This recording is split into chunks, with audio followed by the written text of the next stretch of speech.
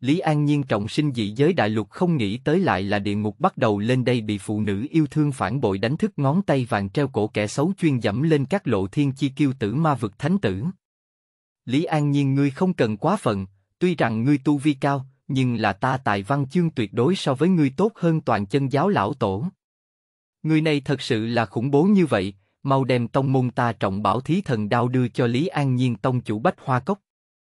Nếu lớn tuổi hơn một chút, có thể kết làm đạo lữ song hưu, nữ tông chủ yếu tự trọng a, tôi vẫn còn là một đứa trẻ. Chương 1 Thức tỉnh kim thủ chỉ Bạn đang nghe tại truyện chấm audio. Đã có lỗi xảy ra trong quá trình lấy test. Chương 2 Đang dược đường phong ba. Bạn đang nghe tại truyện chấm audio. Đã có lỗi xảy ra trong quá trình lấy test. Chương 3 Tôn Đại Sư Chấn Kinh bạn đang nghe tại truyện chấm audio. Đã có lỗi xảy ra trong quá trình lấy test. Chương 4 Đang dược hợp tác. Bạn đang nghe tại truyện chấm audio. Đã có lỗi xảy ra trong quá trình lấy test. Chương 5 Tiết Luân thăm dò.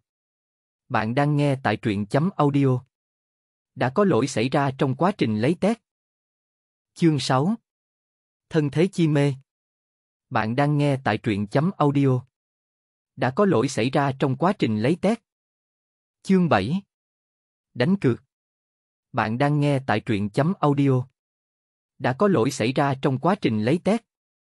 Chương 8 Mã Thành ám sát. Bạn đang nghe tại truyện chấm audio. Đã có lỗi xảy ra trong quá trình lấy test. Chương 9 Chân tướng rõ ràng chấn nộ tống quản sự. Bạn đang nghe tại truyện chấm audio. Đã có lỗi xảy ra trong quá trình lấy test. Chương 10 An Lan thành tranh tài. Bạn đang nghe tại truyện chấm audio. Đã có lỗi xảy ra trong quá trình lấy test.